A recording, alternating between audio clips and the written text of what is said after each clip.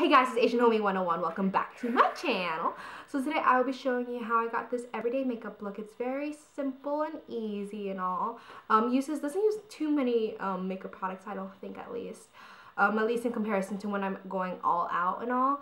Um, definitely have foundation, concealer, and setting powder, and you know the whole blush situation and all. Um, the of course I switch out my lip options and and I switch up a lot of these products, but you get the you'll get the general gist of what I do on an everyday basis. Um, when I'm actually trying at school instead of on days where I'm not trying, you know, and just really don't care how, how I look. But so yeah, I hope you guys have a wonderful day. Thank you for watching and stay tuned for the Get Ready With Me video. Already, bye-bye.